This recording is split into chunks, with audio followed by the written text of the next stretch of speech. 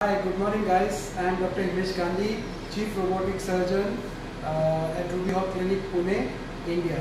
So today I am just giving an overview of our robotic setup in Ruby Hall.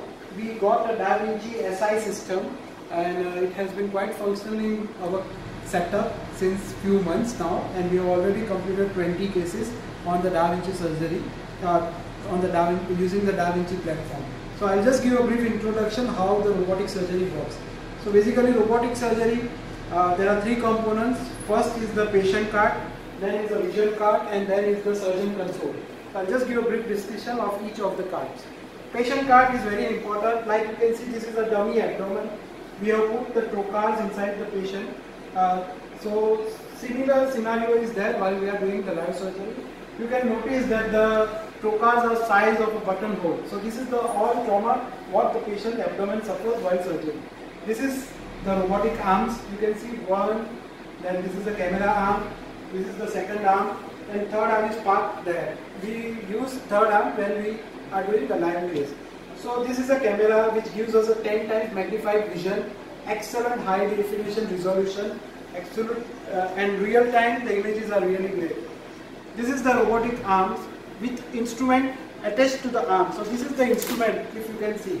This is the instrument and this instrument has multiple functionality like it can turn, it can rotate, it can open up the jaws and it can uh, basically move in any angle as required. So these are the robotic uh, movements which can be performed with the arm. So this like this we can drop the arm inside and looking at the monitor we can bring the arm to the field of interest. Similarly uh, this camera we can rotate like this if the bedside assistant also can maneuver the camera if required. Then we will come to the vision cart. Vision cart is like beautifully designed uh, system. We will have a high definition 1080 pixel uh, monitor where we can have an excellent uh, high definition vision. Also you can see that uh, the area of interest can be illustrated using a vision cart. So this technology helps us while we are doing the surgery to guide a trained uh, surgeon which is trained, which is getting trained while doing a surgery. So all these things can be done with the help of this screen. So which gives us an additional advantage and absolute precision. Then we come to the surgeon console. So this is the surgeon console. As you can see, it's a high definition uh, console and the like the surgeon actually during a surgery is not on the side of the patient but it's actually sitting here and assistant is by the side of the patient. The, these are the master controllers which are which are like used during the surgery to make the uh, desired movement while uh, making any surgical steps. And uh, there are few pedals here which are used while we are operating. So this is these are the setups like you can have the surgeon specific configuration while you are operating. So during a live case, the surgeon normally goes inside and have an excellent vision inside this monitor. And this view is like high definition, 1080 pixel and a clarity and 10 times magnified images.